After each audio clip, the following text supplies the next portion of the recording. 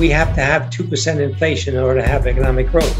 Where's the proof of this? Central banks are beginning to lose control because of the advent of cryptocurrencies, the new birth of emerging markets. Uh, the US dollar, just like what happened to the pound sterling, will lose its place. 네, 전 세계 석학과 구루들을 찾아서 그들의 지혜를 들어보는 시간 글로벌 머니톡 오늘도 시작해 보겠습니다. 오늘도 중앙일보의 강남규 기자와 함께합니다. 어서 오세요. 안녕하세요. 네. 강남규입니다. 자, 오늘 오늘 모실 분도 어, 꽤 유명한 분이에요. 그렇죠. 어, 마크 모비우스. 마크 모비우스. 우리나라 사람들에게 마크 모비우스는 아시아 금융 위기 이후에 서방 투자자의 어떤 뭐랄까 상징으로 인식이 돼 있습니다. 그러나 음. 서방 투자자의 눈에 마크 모비우스는 이렇게 불리거든요. 어, 신흥시장의 피리 부는 사나이. 우리 독일의 전래동화 보면은 음. 그한 사나이가 마을에 나타나서 피리를 부니까 아이들이 줄줄줄 따라가지 않습니까? 음. 실제로 서방 투자자들이 우리가 생각하기에 신흥시장 투자, 이머징 마켓 투자는 언제부터 했을까요? 실제로는 1980년대 중후반부터예요. 음, 신흥시장이라면 예를 들면 어떤 나라들이에요? 네, 정확하게 한국, 음, 그 다음에 중국, 예. 어, 그 다음에 이제 남아, 남아프리카 공화국. 음. 일반적으로 그 신흥시장 투자를 굉장히 리스키하기 때문에 꺼려 했었는데 서방 투자자들에게 신흥시장 투자를 이끌어준 어, 그 서방 투자자들 신흥시장으로 이끌어준 어, 개척자 가운데 한 명이 마크 모비우스입니다. 그래서 오늘 그 사람이 보는 한국 시장을 포- 포함한 신흥 시장의 어떤 미래와 전망, 현재와 미래 이걸 좀 한번 집, 집중적으로 물어보고자 인터뷰를 안. 그래도 뭐 최근은 미국 시장, 뭐 그렇죠. 중국 시장, 뭐 이 정도가 투자의 보통 이제 포커스였고 그동안 코로나 19 때문에 신흥 시장은 오히려 피해를 더 많이 받아서 그렇죠. 그동안 우리의 시계에서 벗어나 있었는데 요즘 다시 이제 분위기가 바뀌면서 네. untact에서 contact으로 바뀌고 네. 또뭐 성장주가 다시 어 실적이 동반되는 가치주로 우리 네. 그 투자의 패턴이 바뀌면서 이머징 마켓도 꽤 예, 다시 한번 관심권에 들어오고 있어요. 그렇죠. 그런 차원에서도 어, 이머징 마켓에 대해서 어떻게 생각하는지 어, 사실은 뭐 어떻게 생각하는지라고 하면 뭐 뾰족한 정답이 없겠습니다만은 사실 우리 우리 직설적인 질문 있지 않습니까? 기자들이 하는 음, 어디다 많이 투자했습니까?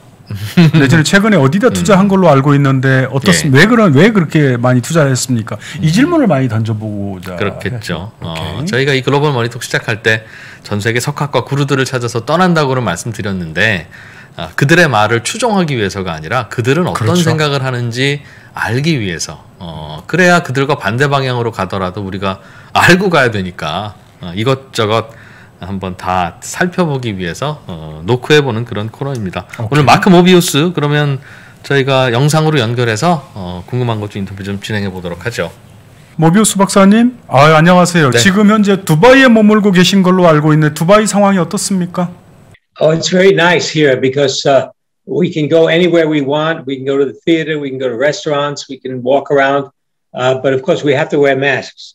아 거기 마스크는 어떻게 그 의무적으로 써야 해요? 어떻습니까 거기는? Yes, Oh. mandatory. 이 사실 한국 투자자에게 모비우스 박사는 그 템플턴 자산 운용의 멤버로 기억이 되고 있습니다. 근데 최근에 어, 자산운용사를 설립한 걸로 알고 있는데 그 어떤 회사인가요? 그 회사가? Uh, the name of the firm is Mobius Capital Partners. And we have a fund in uh, London, uh, listed on the London Stock Exchange, and a fund in Luxembourg. So we have two funds uh, now.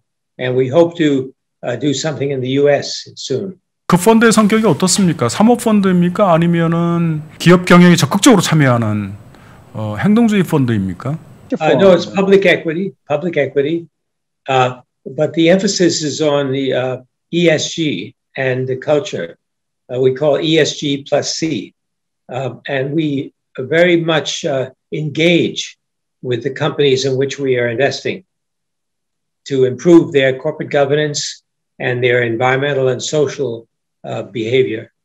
아 그렇다라면은 그 투자 철학과 전략에 대해서 좀 설명, 좀 더 자세히 설명을 좀 해주셔야 될 것 같습니다. Yeah, that's right. We are active but active in a very, uh, how can I say, friendly way. In other words, we, we are not aggressive. We work uh, in cooperation with the company. Mm. And it's, it's working very well because uh, last year uh, our fund went up by 19%. So we had good returns. Uh, emerging markets, we're focused on emerging markets.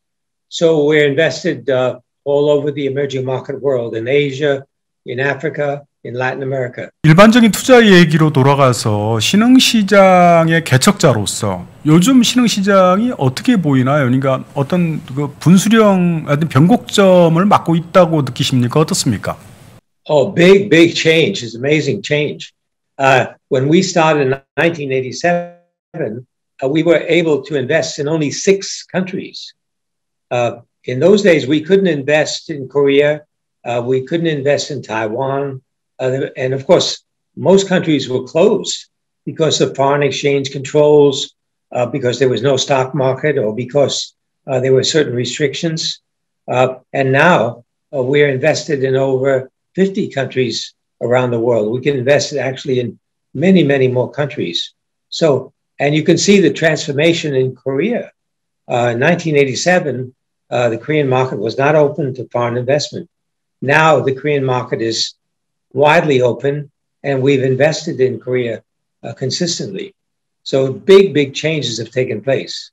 어, 모비우스 박사, 최근에 사실 최근 10년 동안 신흥시장은 신흥시장 수익률이 사실 그 미국의 Standard 어, S&P 500 지수 와 견줘 상당히 그 낮았습니다. 어떻습니까? 앞으로는 어떻게 될 것 같습니까? 좀 이번에는 어, 어, 신흥시장 성과가 미국 시장 투자 성과보다도 높을까요? 어떨까요?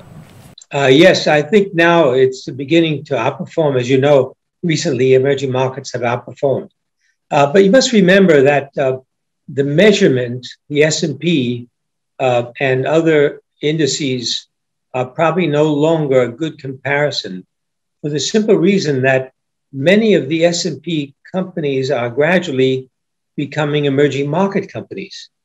Uh, the reason why I say that is that let's take, for example, uh, Apple. And now, what percent of Apple's earnings are coming from China, India, Korea, Taiwan? All these emerging markets are huge markets for American companies like Apple, Microsoft, so forth. So uh, a lot of the growth of these companies has come not from the US market, not from the European market, but from emerging markets. So uh, it's now kind of an anomaly that we measure uh, the emerging markets index against the S&P or US uh, index because the US index in many ways is an emerging market index as well. 모비우스 박사님, 그 조금 전에 이머징 마켓이 점점 더 S&P 500 기업들의 활동 영역이 되고 있다는 쪽으로 말씀해 주신 것 같습니다. 어, 근데 그렇다면, 그렇다면 우리는 투자자 입장에서 이머징 마켓에 점점 더 많이 진출하는 S&P 500 기업에 투자를 해야 됩니까? 아니면 이머징 마켓에 이미 존재하고 있는 현지 로컬 기업을 투자를 해야 되겠습니까? 어떤 게 좀 더 투자 성과가 조, 좋을까요? Well, you get, really got to invest in both, in both of them. Uh, it's a good idea to look at both. Uh, and one of the uh, very important points for investors is that you must look globally. In other words, don't restrict yourself in any way to one country or one sector. Uh, look globally for investment bargains. So uh, let's take the technology sector. Okay, Apple is fine, uh, and you can go to Microsoft and some of these other big tech companies. But don't forget, in Korea itself, there's some terrific tech companies in Taiwan. For example, TSMC, Taiwan Semiconductor Manufacturing, is the largest in the world. Uh, so I think you've got to look at both sides and pick the best of all those uh, choices. 무엇부터 공부해야 될지, 어떤 자료와 정보를 봐야 되는지 아직도 헷갈리시나요? 포스트 코로나 시대에 방황하는 20대부터 본업에서도 투자에서도 성과를 내고 싶은 30대, 노후를 준비하는 40대, 50대까지. 주식 투자의 세계에 입문하신 분들을 위해서 3프로TV가 준비했습니다. 3프로TV 주식대학 봄학기. 초보 투자자들의 멘토 연블리의 친절한 주식 기초 교육. 어떤 기업이 돈을 잘 벌고 있는지 확인하는 법부터 증권사 리포트, 기술적 분석을 통해서 수익을 내는 법까지 염블리, 염승원 부장과 함께 한 발자국씩 나아가면서 평생 투자의 기초를 탄탄하게 다지는 시간이 될 겁니다. 3프로TV가 염블리의 친절한 주식 기초 교육과 함께 여러분의 성공 투자를 응원하겠습니다. 영상 아래 링크를 통해서 강의를 신청하실 수 있습니다. 모비우스 박사님, 사실 그 한국의 개미 투자자들, 개인 투자자들이 최근에 지난해 3월 이후에 미국 주식을 많이 샀습니다. 어떻습니까? 신흥시장 개척자 입장에서 어, 한국의 개미 투자들, 개인 투자자들이 어, 미국 시장에 많이 노출돼 있는 이런 현상에 대해서 어떻게 보시나요? Uh, I think uh, the American market is quite attractive to investors around the world because it is very liquid and very broad. So you can find many, many companies there. But you must remember that the American market does not uh, uh, hold many, many companies that are in other markets around the world. For example, let's take Korea. How many companies, Korean companies, are listed in America? There are many that are not. So, and the same thing is true of China. The same thing is true of uh, Taiwan, of uh, Turkey, of South Africa, and so forth. So, uh, the investors in Korea must look globally. Of course, the American market is very important, no question about that. But uh, they should not hesitate to take a global view and look at markets around the world. Look for the best investment bargains. And I remember recently we were sitting with a, a German client, and the German client said, "Gee, emerging markets are so risky. There's a lot of uh, crime, a lot of embezzlement, and so forth." I said, "How about Wirecard? Are you familiar with Wirecard?" they said, "Oh, yeah. Well, that was that that was the Austrians. It wasn't the Germans." so every country has this problem. Uh, you must remember the Chinese market is a big market. It's a uh, it's uh, very many listed companies, many many companies operating in, in China, and of course you are going to find cases of uh, problems with fraud, with embezzlement, with uh, certain crimes, commercial crimes in in China, just like you'll find anywhere in the world, whether it be the U.S., Korea, or other places. So you must put this in perspective and realize that uh, the Chinese companies, by and large, are very well run and do pay attention to corporate governance. In fact, the government is putting more and more emphasis on governance of, uh, of the Chinese companies. So uh, I find that this is not a big, big problem. Uh, but we must realize, and the reason why we do intensive research is that there will be problems from time to time. And if you're an investor, you have to be aware of any such risks going forward. 최근 설립한 펀드의 상당 부분이 펀드 자산의 상당 부분이 어, 인도 주식에 투자되어 있는 걸로 알고 있습니다. 왜 인도에 끌리셨을까요? Well, actually, uh, the reason why it's uh, it's the biggest now is because the performance has been so good. The stock prices of the Indian companies that we hold went up faster than stock prices in other companies that we invest. So uh, that was really the reason why we're big in India. But also, we consider India to be growing very fast in the future. They will become a, a big leader in manufacturing, in technology and in other areas. So I believe that the Indian market is going to hold a great deal of promise going forward. And if you uh, look at many of the big Indian companies, you'll find that they're becoming world leaders. And more importantly, uh, Korean companies realize that India is important and they are going into India to establish factories, to sell, and so forth. I believe so. It's very important for Korean investors to pay attention to emerging markets and invest in emerging markets, uh, particularly the fast growing countries like India, um, and also look at not only individual um, stocks, but funds that invest in emerging markets. There's a new cycle, I believe it's true. I think after underperformance in the last 10 years, we're now seeing a new cycle, a new birth of emerging markets, which is very, very good.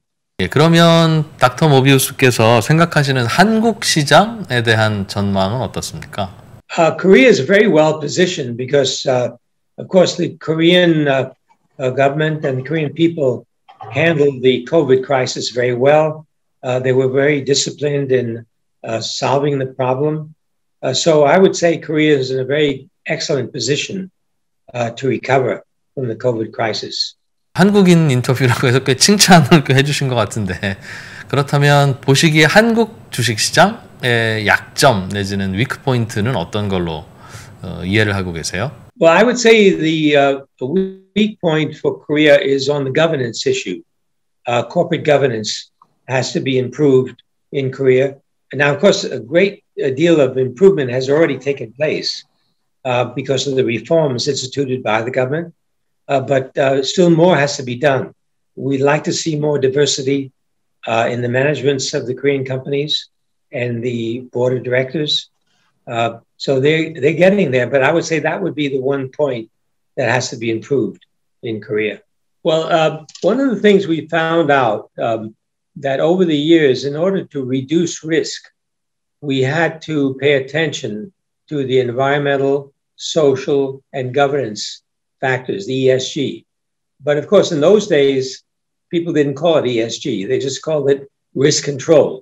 So uh, it's no surprise that companies that are doing well in ESG tend to perform better. So that's the reason why our uh, emphasis is on ESG because not only uh, is it good for the society, but more importantly, it's good for the shareholders because the shareholders benefit from the better performance of the company. 그 과거 역사를 보면은 투자 역사를 보면은 대단히 수익률을 고수익을 추구하는 펀드 매니저였습니다. 음. 그래서 특히 신흥 시장에 많은 자산, 많은 자본을 투자를 했고요. 근데 왜 갑자기 이제 와가지고 그 ESG라는 테마에 관심을 갖게 됐는지 그 배경이 좀 궁금합니다. Since I started the very first Emerging Markets Fund in 1987, um, I was immediately confronted with the problems of ESG, of environmental, social, and governance. So when I was investing, I became very, very aware of the need to pay attention to these factors. And more importantly, the incredible growth that I witnessed in the emerging markets uh, came to the fore and highlighted the issues uh, that we confront in ESG. So it's been part of my philosophy from the very beginning. Uh, to give you an example, if you look at the E, the environmental side, you'll see that uh, even companies that look like they are not involved in polluting the environment actually have an indirect uh, benefit. So, for example, we have a software company invested in India and that company, uh, in order to save the environment, has installed solar panels on the roof of their company in order to generate electricity uh, safely and efficiently and cleanly. So that's an example of where a company can do a very good job on the environment, even though they may not seem to be polluting the environment at all. Uh, on the social side, uh, we've also found that uh, a company, for example, we know one company in Bangladesh that established a factory in an area which was rather uh, downtrodden and underdeveloped. And what they did when they built the factory, they also built a school and they also built a hospital so that the people in the society and the community could benefit from the company's uh, development. And of course, they were providing jobs for people. On the governance side, what we try to do is encourage companies to have a diverse uh, board of governance, for example. So, very often we will recommend that they add a woman to the board uh, to get another view of the society. So, that's the kind of thing that we are doing. ESG에 대해서 한 가지 좀 더 궁금한 질문을 드리자면 박사님 그 ESG 활동은 어, 더 비싼 이른바 기업 입장에서 보면 코스트가 더 드는 활동 아니겠습니까? 예를 들면 멀쩡한 그 사옥의 그그 지붕에 예를 들어 두셨듯이 솔라 패널을 붙이려면 그조차 추가 비용이 드는 것이고 사회 활동을 위해서 학교나 병원을 지으려면 그조차 비용이 드는 것인데 그렇게 비용이 드는 활동이 왜 기업의 그 수익성을 높여준다는 뜻이 될까요? uh, that's a very good question. Uh, uh, you must remember that all the companies which we invest and encourage to improve the ESG credentials, they of course are thinking about profits. Uh, they don't want to give up profitability uh, for the sake of ESG. Mm. So, for example, let's take the uh, solar panels. In the case of the solar panels, actually the company was saving money. Of course, the investment was there, but within a short period of time, they were able to save money uh, because very often the public power was not reliable and was shutting down. So they could be able to run their factory uh, more efficiently and more effectively. Uh, so uh, it's very important to remember ESG is not uh, charity or is not uh, something that companies will lose money on. The idea is actually to improve the profitability of companies by adhering to these uh, tenets of ESG. And that's why, if you look at the performance of good ESG companies, their performance is better than others. Well, you're going to find a lot of variations. Not all companies will adopt uh, ESG practices. There's still an awful lot of work to be done. So there's an opportunity to find those companies that are doing a good job with ESG and profit by investing in those companies. Mm-hmm. So uh, this process will take a long time. By the way, have you heard about my new book? 사실 지금부터 질문할 게 그 최근 저서에 관련된 내용임 내용입니다. 자 그러면은 아이 그 한번 책을 소개해 주시는 게 어떨까요? 음. Oh, please read it. okay. It's available. It's available on Amazon. okay. Uh, uh, let me show you a cover, the cover of it. Yes, please. 산업을 이해하고 기업을 이해해야 돈의 흐름이 보입니다. 리서치 명가 메리츠증권과 3프로TV가 함께 야심차게 준비한 3프로TV 주식대학 겨울학기 실전 투자 특강. 남보다 한 발 앞서서 유망한 산업을 판단하고 1등 종목을 선정하는 투자의 기본기를 다지는 시간이 될 겁니다. 국내 최고의 애널리스트 21명과 함께 떠나는 2021년 성공 투자를 위한 단 하나의 필수 코스. 지금 바로 신청하세요. 자세한 사항은 페이지 2 공지사항을 확인하세요. This is, this is the cover of the book. Mm-hmm. Ah, good. That's a good question. it means you're uh, burning the midnight oil. uh, it means working uh, 24 hours a day. Uh, so that's why you look tired. yes, exactly. 제목으로 보면은 지금 시장 참여자들이 우려하고 있는 인플레이션 우려는 걱정하고 있는 인플레이션 우려는 지나친 것이다라고 말씀하실 것 같은데 어떻습니까? That's right. Uh, and the reason for that, as I point out in the book, is technology is making things cheaper and cheaper and better. In other words, we, as a result of technology, uh, the actual buying power of people is going up. Now, yes, uh, prices look like they're, they're rising, but the prices are rising because of currency devaluation. But the important thing is, I point out at the, at the end of my book, uh, the uh, the rate of increase of salaries and incomes is moving up faster than the so-called inflation numbers. So, in fact, we are in a deflationary environment. Well, you know, the, the problem is, is that uh, the central banks around the world are looking at these inflation numbers. The inflation numbers are not accurate. They're not truly reflective of what's happening. And therefore, by relying on these numbers, they are making policy mistakes. They, you know, they're making big, big mistakes.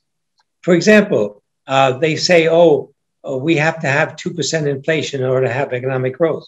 Well, how do they get, how do they come up with a number like that? Who, where's the proof of this? So uh, this is a big, big problem. And one of the reasons why I wrote the book is I hope that central banks around the world will stop using inflation numbers to uh, determine economic policy. This is not a good way of behaving. What we should be looking is looking at is the quality of life, a measure of quality. And if you look at the average uh, situation in the world today, the quality of life is getting better. Things are actually getting cheaper. Uh, what I think you've got to do is look at the individual uh, uh, family or individual person and see how his behavior is changing as a result of the technology that's being uh, taken. For example, uh, when I was younger, I, when I wanted to make a telephone call overseas, it would cost me maybe uh, $20 a minute. Now I can make a call for zero, no, no money. the fact that we're talking today, uh, 20 years ago or even 10 years ago, would have cost a fortune. Uh, this is an example of how the quality of life has improved and changed. 앞으로 인플레이션은 발생하지 않을 것이다. 그러나 화폐 가치 하락에 의해서 어, 상품 가격의 가격표는 올라갈 것이고 그러나 사람들의 인건비, 셀러리는 더 많이 올라갈 것이다. 그렇게 말씀 주셨어요. 결국은 돈 가치가 떨어진다는 뜻 같은데 그거를 뭔가 인, 부작용이 나타나는 인플레이션은 아니더라도 투자자 입장에서는 그러면 실물 실물 자산 예를 들면 부동산 같은 데 투자를 해야 된다는 뜻입니까? Uh, well, the best way to preserve assets is to invest in profitable companies. Uh, invest in equities because profitable companies will, will raise their prices along with the devaluation of the currency. And therefore, you can protect yourself against uh, this devaluation. Of course, uh, property is also uh, very good, but property is not very liquid. So uh, if you want to dispose of it, it's not easy to dispose. And I also recommend gold, which is a form of currency which is important to invest. Uh, the taper tantrum, of course, refers to uh, the Fed uh, withdrawing cash uh, from the market. Uh, uh, and that, of course, gives a frightening to the market. The market becomes frightened because they say there's not, there's not enough liquidity. And of course, then the stocks will go down. But now we're in a different era where central banks are beginning to lose control of money supply uh, because of the advent of cryptocurrencies like Bitcoin and like many other uh, currencies, cryptocurrencies. So uh, that is something we have to watch very carefully. In other words, it's going to become more and more difficult to measure money supply. So even if the Fed wants to reduce money supply and withdraw cash from the market, uh, uh, they will find it difficult to do so. So we must look at the psychological impact of these announcements on the market. Very often, in reality, uh, the impact is not there. 예, 박사님이 조금 전에 설명해 주신 부분 중에 조금 더 보충 설명이 필요하게 느껴지는 부분이 바로 어, 앞으로는 중앙은행들이 시중에 돌아다니는 돈의 양, 돈의 공급을 조절하거나 측정하기 어려워질 것이다라는 말씀을 주셨어요. 암호화폐와 연관해서 구체적으로 어떤 뜻인지 다시 한번 좀 설명해 주시겠습니까? Uh, for a number of reasons. Most importantly, because of the rise of cryptocurrencies like Bitcoin. Uh, these currencies are not measurable. They see the price, but you don't know the quantity of this money out there. That's number one. Number two, uh, the US dollar is gradually losing its place as the main currency in the world. Uh, there are now other currencies that are coming up, particularly the renminbi. So, uh, if you really want to measure uh, the quantity of money in the system, you not only have to measure the US dollar, you've got to measure Korean won, renminbi, Taiwan dollar, uh, the euro, uh, the all of the cryptocurrencies, and so forth. And that is quite impossible. 중앙은행이 그 돈에 대한 관리를 제대로 못했을 경우에 인플레이션 압력은 더 커질 것 같지 않습니까? Oh yeah, of course. It means uh, it- it's not inflation, it's devaluation of the currencies. In other words, the currencies, as history shows us, become worthless. Eventually, all currencies become worthless. And this is what's uh, happening. 어, 모비우스 박사님, 사실 지금 말씀하시는 걸로 봐서는 달러의 운명이 아주 그 위태로워 보이는데 그렇다면 달러가 기축 통화로서의 지위를 잃을 것 같습니까? 어떻 어떨 것 같습니까? Uh, I believe the US dollar will gradually lose its place as the main unit of trade in the world today. Um, it's not going to happen tomorrow, but it will gradually happen as other currencies uh, come up, like the renminbi and others. Uh, so uh, the US dollar, just like what happened to the pound sterling, will lose its place as the prime currency.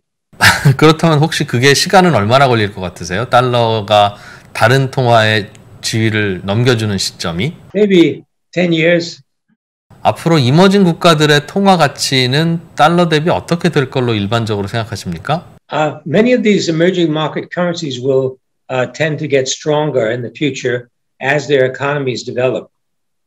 And recently, you've seen some pretty dramatic uh, uh, changes in emerging market currencies. For example, the Brazilian real against the US dollar is appreciated by something like 15%. Uh, you can see that Chinese renminbi is strong against the US dollar and so forth. So uh, you'll find that going forward, many of these emerging market currencies will actually uh, hold their own against the US dollar. 네, 박사님 인터뷰 응해 주셔서 고맙습니다. 좋은 시간이었습니다. 감사합니다. 감사합니다. Oh, yeah, thank you. 강 기자님, 이제 매번 인터뷰 하면서 느끼는 거지만 어, 세계 석학들의 생각은 가끔 우리와 좀 다르기는 한데 예. 일반적으로는 큰 맥락에서는 그 비슷하기도 아, 하구나. 그렇죠. 네. 어, 뭐 그런 생각도 이번에도 또 하게 네, 됐고요. 또한 가지는 그 그렇게 이제 나이 들고 경력도 많은 사람인데도 본인이 책을 쓰고 나면 마치 그 이제 손자를 본 할아버지처럼 예. 이 이게, 이게 어떻게 좀저 인종 어떻게 좀 자랑. 좀 하고 좀 홍보 좀 할 수 없을까? 아, 오늘 굉장히 그 모비우스 박사의 인종 욕구를 재확인했습니다. 네. 야, 그러니까 참 그런 거예요. 그러니까 보면 저희들도 그 이제 신과 함께에서도 여러분들 초청도 하고 저희가 하는 일이 사실은 섭외고요. 음. 예. 저희는 어, 머리나 입으로 일하는 것 같지만 제가 늘 말씀드리잖아요. 무릎으로 일한다고.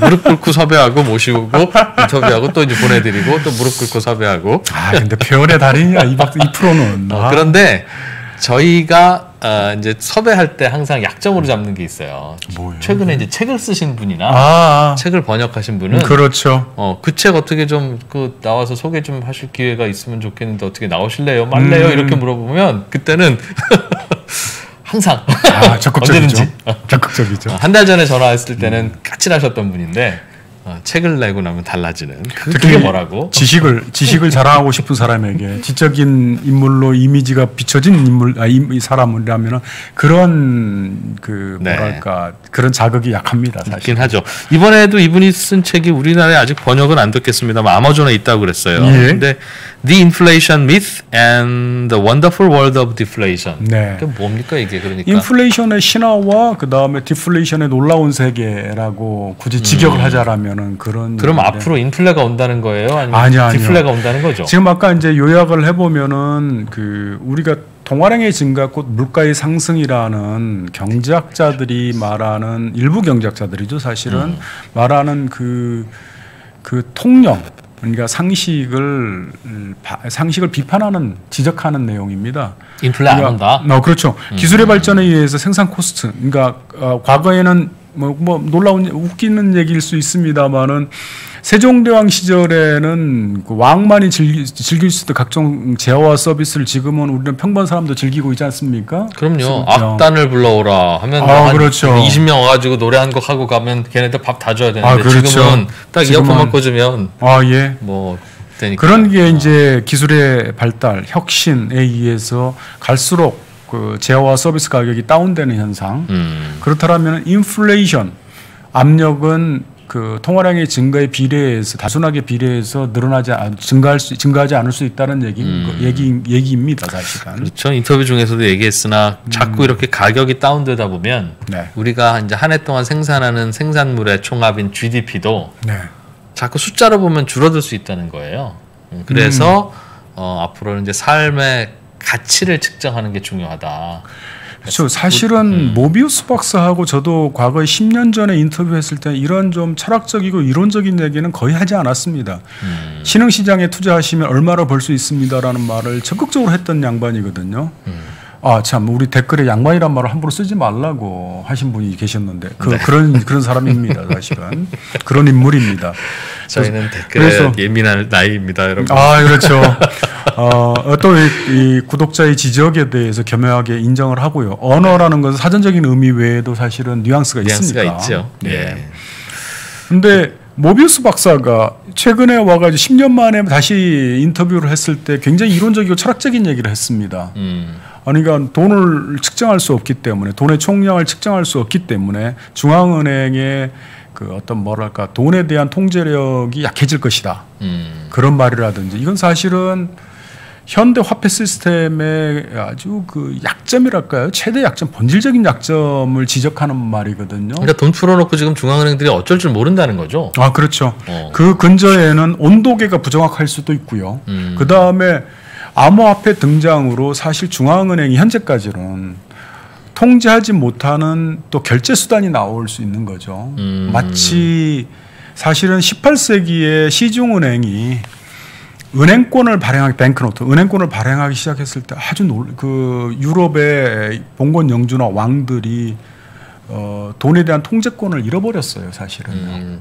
저게 무슨 돈이냐 하지만 사람들은 아, 그렇죠. 이제 받아서 쓰기 시작하면 그래서 18세기 사람들 1700년대 사람들에게 이 경제 이론가들의 문서를 보면 책을 읽어 보면은 음. banknote 우리가 지금 현재 다 banknote 쓰고 있지 않습니까? 중앙은행이 발행하는. 근데 시중은행이 그때 다 발행을 했습니다. 현금 현금 banknote 지폐. 지폐. 음. 어, 이 그때 당시에 돈은 금화나 은화가 돈이었고 어, banknote는 돈인가 아닌가 이게 에, 어음인가 아니면 수표인가를 놓고 논쟁이 붙었습니다. 종이 17 쪼가리, 종이 예, 18세기 사람들에게 굉장히 그 money puzzle, 음. 돈의 돈인가 아닌가를 놓고 논, 벌였던 논쟁 중에 하나입니다, 사실은. 음. 그러면서 지금 현대 중앙은행 시스템이 그, 그, 그 문제를 이겨내기는, 이겨내는 과정에서 현대 중앙은행이 발전을 했거든요. 제 탄생을 했는데, 어, 막, 어, 모비우스 박사의 말씀에 비춰 지금 암호화폐의 등장, 뭐, 비트코인, 비트코인 암호화폐의 등장이 그런 충격일 수 있다라는 걸로 좀 들립니다, 사실은. 음. 그런 충격으로 인해서 등장한 것이겠죠. 그렇죠. 그- 중앙은행이 또 다시 한번 진화하거나, 뭐 그런 걸 주장하면서 만들어낸 것이니까. 그렇죠. 아니면 중앙은행이 또 암호화폐를 장악하고, 장악할 수도 있지 않겠습니까? 어, 그 저도 얼마 전에 중앙은행 우리나라 중앙은행에 계신 분께 우리나라 중앙은행의 디지털 화폐 연구가 어디까지 가고 있습니까? 뭐 이런 얘기를 좀 했었는데 네. 어, 공부를 꽤 하고 있다. 그리고 아, 그쵸. 언제 디지털 화폐가 필요할지 모르니까 준비는 하고 있는데 만약 그게 등장하면 지- 기존의 암호화폐와는 완전히 경쟁 상대가 될 것이다. 그러니까 중앙은행들이 디지털 화폐를 쓰기 시작하면 그게 지금은 암호화폐들 입장에서는 그 봐라 이제 우리 전성기가 오는 거야라고 생각하지만 오히려 반대다. 네. 어, 그- 그 현상이 사실은 영국의 영란은행이 애초에 시작은 60km 반경 내에서 자기 은행권만 쓰도록 한다는 하에서 면허를 받았거든요. 음. 나중에 이제 영국의 지방은행들이 서서히 영란은행 은행권을 어, 사용하기 시작합니다. 음. 그래서 지금의 법, 그 파운드화라는 파운드라는 종이돈 음. 그 자체가 그 완성되는 시점을 1940년대로 보거든요.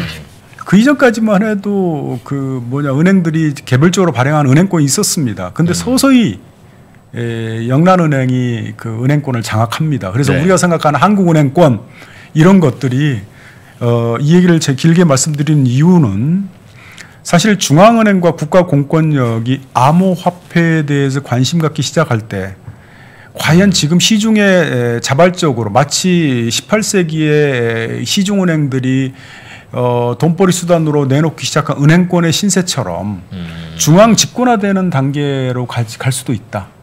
라는 그런 가능성을 뭐. 말씀드리고 싶습니다. 그렇죠. 어디로 불똥이 어디로 튈지는 잘 모르겠는데. 그렇죠. 지금 현재. 음, 아무튼 확실히 달라졌어요. 몇 년 전에는만 해도 네. 암호화폐 이야기를 꺼내면 그 이제 이른바 세계 석학과 구루들은 일부는 그래 나 그거 관심 있어서 지켜보고 있어. 네. 대부분은 야 내 앞에서 그 얘기 꺼내지도 마. 그 뭐 그런 얘기를 하고 있어 쓸데없이. 몰랐으니까. 그랬다가 요즘엔 다들 어, 꽤 관심이 있어요. 어, 뭔가 의미가 없지는 않은 것 같아요로 바뀐 것은 사실이긴 해요. 사실 그이 웃기는 얘기 웃기는 얘기입니다만은 암호화폐가 이제 유령으로서 인정을 받았다. 공산당 선언의 촛불처럼 존재를 인정받고 있다라는 거. 기존의 제도권과 이카나미스트로부터 그렇죠. 그 자체는 아마 그 어, 이두 번째 급등 시기 상승 시기의 최- 최대 성과이자 성과이지 않을까 생각합니다. 아직은 그게 왜 가치를 갖는지에 대해서는 아무도 설명을 못 하고 있는데 저도요. 음, 설명은 그, 그, 그 설명을 하는 사람은 아직은 없으나 네. 그러나 어, 가치 저장 수단으로 어, 그냥 이- 그거는 각자 그렇게 생각하면 생각이 되는 거니까 그렇죠. 트렌드는 있는 것 같아요. 자, 오늘은 음, 마크 모비우스를 또 인터뷰했는데요. 어, 가장 오늘 중요한 뭐 요점 하나를 굳이 떠올리자면 뭐겠습니까? 어, 우리 이른바 이제 널리 쓰이는 말 중에 서학개미라는 말이 있지 않습니까? 음. 서학개미들이 미국 시장에 굉장히 집중하고 있습니다. 음흠. 당연히 지금 현재 혁신의 심장부이고 예, 경제의 세계 경제의 어떤 뭐랄까 중심축이니까 음. 그럴 법도 하는데 그 신흥시장 투자, 이머징 마켓 투자의 개척자인 모비우스 박사의 조언은 한 번쯤 기억해둘 필요는 있다. 음, 아, 대, 그러니까 이른바 어, 투자 실적 측면에서 신흥시장 대, 대세 상승, 네, 이른바 슈퍼 사이클이 시작이 됐다 라는 의미입니다. 의미를 한번 좀 되새겨, 되새겨 볼 필요는 있을 것 같습니다. 이분이 원래 신흥시장이 자기 그 이른바 영업 나와발이라서 그렇죠. 그런 거는 아니에요. 그러니까 이, 이분은 항상 신흥시장, 신흥시장 이런 분은 아닙니까 혹시? 어, 사실은 네. 그 한때 신흥시장에 대해서 말씀을 자, 예, 주저했던 때가 말을 그래요? 주저할 때가 아. 있, 있었습니다. 그러니까 이분이 강조할 때는 또 그나마 사이클 탄, 타는 때다. 아 그렇죠. 음, 알겠어요. 그럼 참고할 만하죠. 네. 자, 글로벌 머니톡 오늘도 보람 있는 시간이었습니다. 여기서 마무리하죠. 강 기자님도 고생 많이 하셨어요. 아 예 감사합니다.